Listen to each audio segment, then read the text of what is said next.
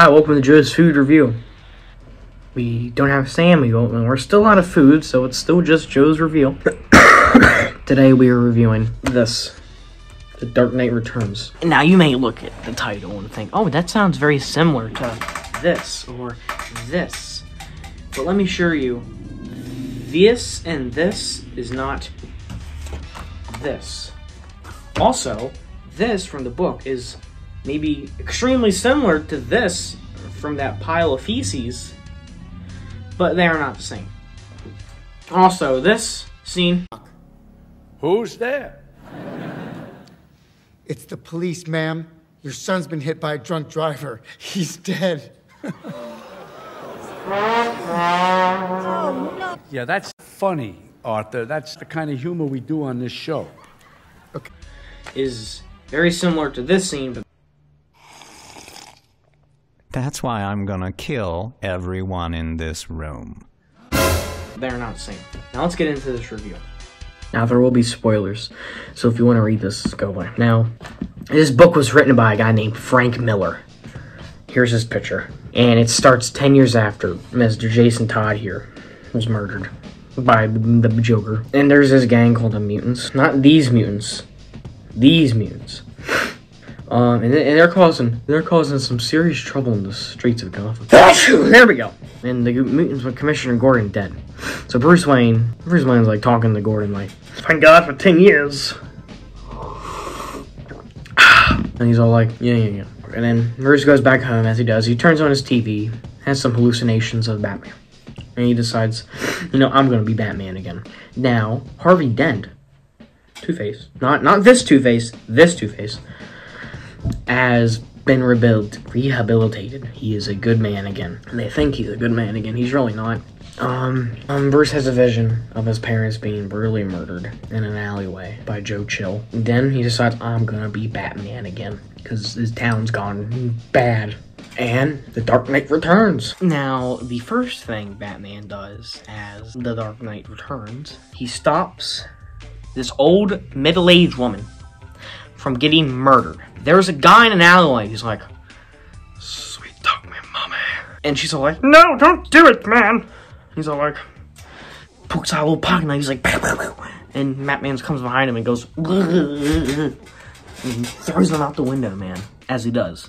Then there's this dude, and he's throwing his chick inside the car, and he's like, "You're messing up my livelihood, Joanne." And she's like, "No, not again. Please, no." And he's all like.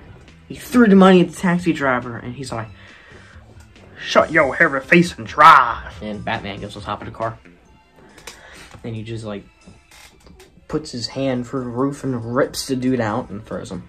And then the girl gets away. Batman, go- he's running around. He goes down to the arcade where there's, there's this girl named Carrie and Michelle. And well, the two mutants are like bang, bang, bang, bang, bang. And they're like, oh no. And then Batman comes up and totally he throws a batarang for some guy's hand, and I can only assume he killed the other guy because he threw him to like some high voltage thing. Now, the Batman starts chasing down a bank robbery car. There's two of them. He goes after the one that the police are going after, and he's there like flying as he does, and the younger cops in the car's like, "Yo, what was that?"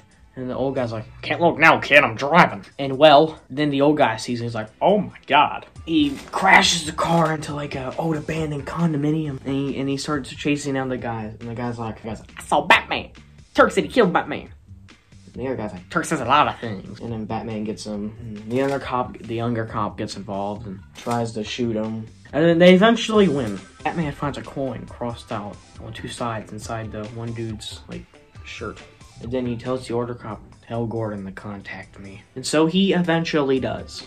Now, back at the Commissioner Gordon's place, he lets the prisoner, the like victim, go, and he tells Bruce this over the phone. And he, and then Batman goes to his apartment at night, and he finds him. He finds him, beats the crap out of him, finds out what Harvey's doing. Then we find out that Harvey is gonna blow up the Gotham Life buildings. There are two of them. There's gonna be two bombs, two helicopters, $22 million. Oh, and Batman fights, you know, he fights him. He fights Harvey. Harvey's Two Face, not this Two Face, that Two Face. And he does that. And this is where, like, second comic ends. Okay, if the first comic was about Batman returning, this is about Batman succeeding. And well, this one starts off with a girl named Carrie Kelly, and she decides to become, she wants to be Robin. Here's her picture. You know, all the pictures are gonna be like right here from that one. So she decides to be Robin, as you do. She's jumping around and stuff. She's like stopping muggers. She likes to stick a dynamite over a guy's rear end in the book. That doesn't happen in the movie though. And so she's doing that. Then we get a shot of these um the mutants are took a kid hostage and they want to pay the ransom. And so and we find out that their plan is that once they get the kid, they're just gonna shoot them. They're gonna get the money and run. And so Batman stops on me. He interrogates one of them, finds out that the weapons are coming from a military base, and this dude's selling them to him. Then we learn through the point of view of Robin that the mutants are going to be meeting at the dump. This is happening. A new police commissioner is hired. Her name is Ellen Yindel. She's very anti-Batman, much like the new commissioner from Dark Knight Rises. Batman hops into the Batmobile, which is more like a tank, like a big, big tank in this one. And he goes off to the dump to fight the leader. Batman gets out to fight the leader. Robin watches.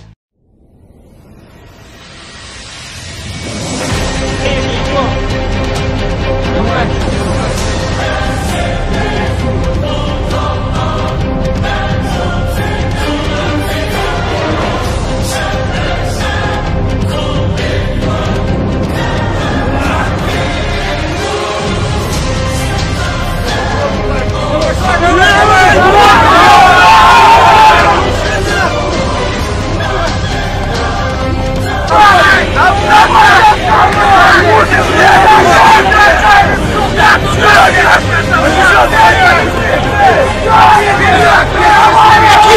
Вашу нахуй!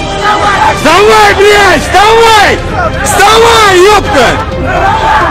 Batman uh, gets two hits, then he starts getting totally destroyed by Robin comes out of the shadows and distracts the leader. Batman is able to throw some glue, glue stuff in his face. Uh, Batman and Robin are able to get away and, and get into the Batmobile. They get into the Batcave and Batman takes some time to heal. Now, this, I can see why they removed this from the movie because it literally has nothing to do with the story. But it's some crazy guy named Arnold Krim who looks like Rorschach from Watchmen. Shoots up a porno theater after listening to Led Zeppelin's Stairway to Heaven 47 times backwards. Uh, the mayor of Gotham is having a meeting with the leader, the mutant leader, uh, bites out his throat. Okay, so this is the plan that they had. Carrie dresses up as a uh, little mutant child and tells them all to meet at the like the West End pipe. And the mutant leader finds a vent in his cell that leads to this pipe, and Batman hiding in that pipe, and he punches him out, and he beats him up, tells him that he is a surgeon, and this is my operating table, and breaks all his limbs. And Batman wins. The majority of the mutants, or a good bit of them, make a new gang called the Sons of the Batman. Now, third comic starts. I want double check here. Um, it starts in a liquor store, and this lady who has swastikas on her boobs with her two henchmen that were former mutants um, tries to shoot it up, try to steal stuff, and a Batman dressed up as an old lady beats the crap out of him. They all do. They do that. And Superman shows up.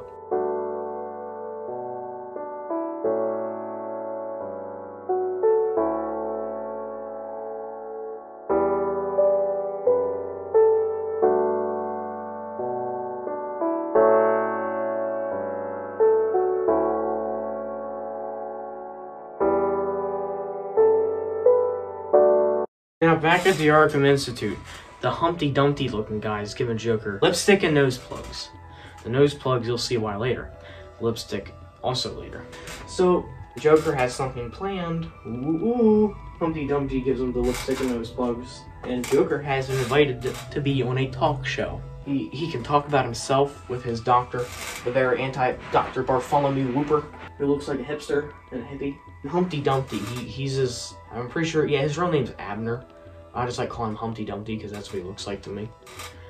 And he makes these dolls, and they run around. They're like, and they have poison as a laughing gas that comes out, and everybody smiles, and they all die. It's similar enough to the one from Joker. They're both on a talk show. And also, Joker takes the mug, and he's like, "The guests keep, know, get to keep these," and he smashes it over the table, and you know, kills his doctor. Okay, so now, after this, Joker goes to Selina Kyle, who is Catwoman, and with the lipstick he received, he kisses her, and now she's under mind control. So this lipstick was mind control lipstick. Batman and Robin are riding around the city when a congressman wearing an American flag jumps off a building. This is strange. Batman disguises himself as a policeman to get some more information about what happened. He finds out that the lady in the room is from Kyle Escorts, which is Selina Kyle's business. We cut back to Batman, and he is in Kyle Escorts, and he finds uh, Selina tied up and dressed up as Wonder Woman. She tells Batman the Joker has gotten way worse than he was. Joker's now uh, causing a big fuss at the carnival. Joker's killing a lot of people. Batman follows him to the. He wants no survivors. Batman follows him to the House of Mirrors. One of the dolls flies to the top of a roller coaster while he's in there, and it's ready to explode. Robin shoots it off with her slingshot. Humpty Dumpty does not like this. Not one bit. Uh, he then gets his shirt on the chain of the roller coaster and gets decapitated because his head went down. And, and Batman, Joker's outside a tunnel of love. And Joker stabs him a bunch of times. And now Joker's like, hit me! Then Joker kills himself. And we get this iconic frame. So in the previous I to talk. I kind of forgot to talk about Bat, uh, Superman. He is in this book a good bit. He's employed by the government, and so in the fourth book, Batman and Robin get out of the carnival and they go back to the Batcave, and a TV broadcast is done by the president, and he is in a rocket, and we get this clip.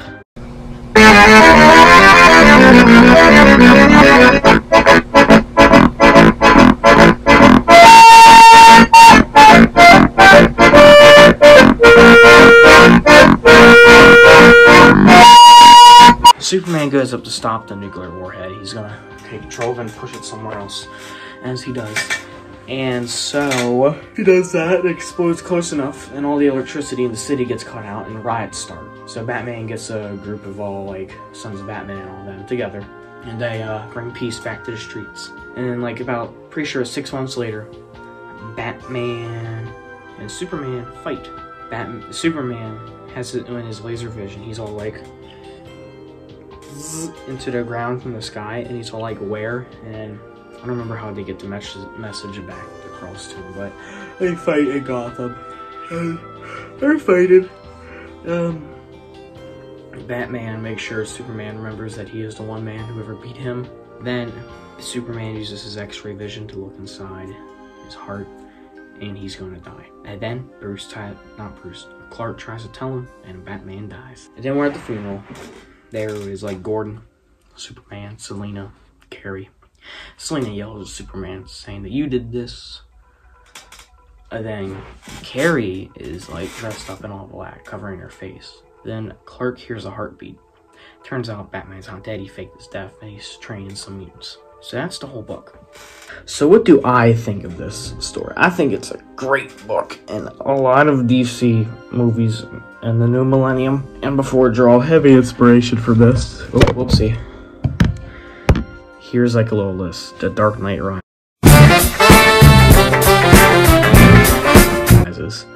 It's very easy to see Batman returns from a hiatus due to a tragedy. In Dark Knight Returns, it's Harvey Dent's death. I mean, in Dark Knight Rises, it's Harvey Dent's death. And in Returns, he stops being Batman after Jason Todd is killed. Both tragedies make him stop being Batman. Bruce is a total, but Bruce is a total recluse in Dark Knight. Um, he's a total recluse in between Dark Knight and Dark Knight Rises, the eight-year period, and that's like one difference. Even though they're pretty, that's a that's a difference in between the similarities. There's a scene at The Dark Knight Rises where Batman's being shot at, and all you can you can only see Batman because of the flash of the gun.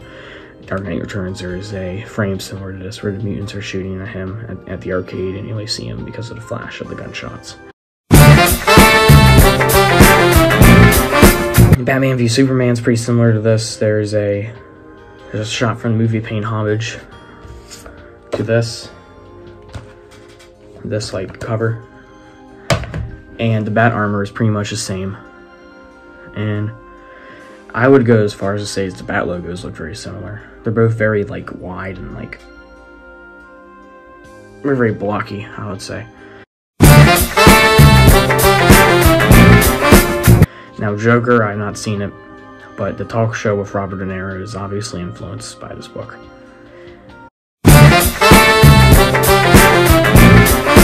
My final thoughts are, well, I really like this book. It's a and the movie adaptation, The Dark Knight, The Dark Knight Returns are probably my Dark Knight, Dark Knight Rises, and Returns are probably my favorite DC movies. I find their quotability on the levels of the Sam Raimi Spider-Man movies. If you've seen them, you know what I'm talking about.